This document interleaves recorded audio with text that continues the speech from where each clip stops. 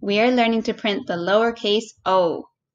The lowercase o is a small letter, so it's going to fit between the middle of the road and the bottom of the road. And it starts with a C curve. We go around like a C curve, close it up. Around like a C curve, close it up. Around like a C curve, close it up. That almost looks like the number six. I don't think I closed it up all the way. We want that circle to close. Let's try another one.